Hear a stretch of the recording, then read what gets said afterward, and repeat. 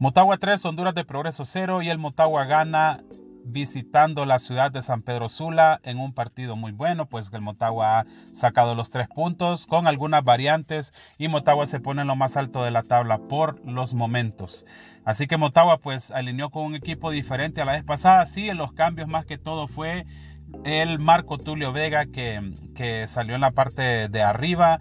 En la parte de, de la contención, pues el camellito compartió con Jason Sánchez, que había estado eh, expulsado en el partido anterior, en dos partidos anteriores. Y pues, ¿quién más jugó diferente? Creo que de ahí se maneja prácticamente el mismo equipo. No jugó tampoco el Colocho Martínez. Y bueno, pues eh, jugó de entrada eh, Diego Auski, que jugó Diego Auski, que jugó un buen partido.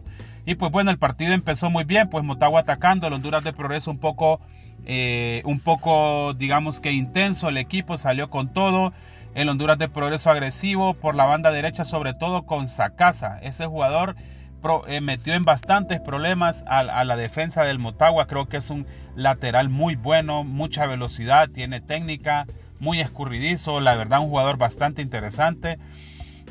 Y bueno, al minuto 15 del Honduras de Progreso empezaba ya a avisar una tajada de Jonathan Rugger que sacaba el balón hacia afuera y pues bueno, salía el Honduras de Progreso muy bien agresivo, pero al minuto 21 una jugada y el gol de Kevin López trajo un gran pase de, del jugador Diego Auski. Un balón al espacio, a la espalda de la defensa, la baja Kevin López por la banda derecha, sale el portero y lo cruza por abajo venciendo al portero del Honduras del Progreso. Un buen gol de Kevin López, supo marcarse bien, generó el espacio, el pase de Auski brutal realmente Auski, un muy buen pie, realmente un jugador con un pie muy, muy entrenado, muy buen pase y empezamos a ganar un gol por cero. Realmente cuando Diego Auski toma el balón, aunque no es un jugador bastante rápido, pero es un jugador que mete en problemas a la defensa, al equipo contrario, porque sabe muy bien dar los pases, sabe muy bien, es un jugador muy inteligente. Y pues aunque tiene que mejorar, creo que la parte física, creo que se, se, se cansa, se nota que se cansa, no termina el partido al 100, pero poco a poco va, va agarrando tono físico y creo que lo importante aquí que el jugador con los minutos que juega, pues eh, rinde y eso es muy importante. Y bueno, pues creo que Motagua después se cayó un poco del minuto 30 en adelante. Obviamente el equipo del Honduras del Progreso salió a atacar un poco más. Y bueno, aquí teníamos que abrir un poco más las bandas. Creo que tendríamos que salir a abrir más las bandas porque por el centro estaba un poco cerrado el espacio. Y abrir un poco más con Kevin López y abrir sobre todo con Omar Elvir, que es por donde funcionan las bandas. Luego en el segundo tiempo al minuto 46 empezando el partido se la perdió Marco Tulio Vega enfrente al portero. Con el pie el portero le pudo sacar el balón, pero Marco Tulio Vega es un jugador que para mí no se vence y es un jugador que sacando el balón de ese tiro de esquina del disparo centro de López y bueno, eh, Marco Tulio Vega la toma y la, la mete al fondo de la red poniendo el 2 por 0 Marco Tulio Vega después de fallar la que tuvo muy clara y vino pues Marco Tulio Vega y pudo, la agarró medio volea picando el balón y la metió al fondo de la red. Eh, excelente realmente eh, Marco Tulio Vega y después rapidito al minuto 50 tres minutos después una jugada en el centro del campo Marco Tulio a, Maga le sale un defensa y se mete en medio del área cruzando al portero que creo que el portero pudo haber hecho un poco más pero el disparo le, le dobló le dobló las manos, pero el balón se fue al fondo de la red para poner el 3 por 0 y Marco Tulio Vega ponía el, su doblete en, cuenta, en su cuenta particular, que de hecho es el máximo goleador por ahora del Motagua. Así que muy bien, pues Marco Tulio Vega es un jugador que cuando entra, cuando entra Marco Tulio Vega le pone y le pone mucho y realmente para mí me alegra que ya esté al 100, ya esté recuperado y que ya esté este jugador disponible para Diego Vázquez, que como pueden ver cuando el jugador sale da todo en la cancha y nos genera goles. Y eso es muy importante, muy, pero muy importante. Igual que Kevin López jugó un buen partido, metió un gol, dio, dio un pase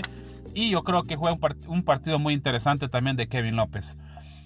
Luego al minuto 64 un bombazo del Camellito Delgado que como por lo que se ve le gusta a este jugador probar de afuera del área y como que tiene luz verde de Diego Vázquez porque balón que agarra en el centro y ve que hay un poco de espacio, suelta el cañonazo y el portero la, tuvo, la tiró por arriba del travesaño.